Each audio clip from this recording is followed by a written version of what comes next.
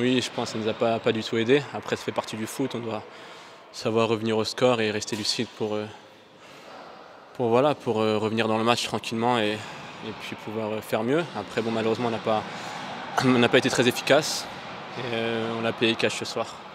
Ouais, c'est c'est pas l'idéal contre une équipe de, ce genre-là, de ce type-là, qui défend beaucoup et qui, qui était assez bas.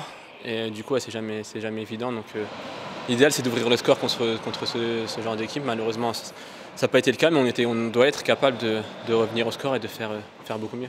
Il n'y a pas de doute du tout maintenant. Le seul truc, c'est que ça fait partie du foot. Euh, ça permet de garder la tête sur les épaules et savoir qu'en Ligue 2, il n'y a aucun match facile, justement. Et euh, de se remettre en question chaque week-end, il faut savoir se remettre en question et toujours faire, savoir faire plus.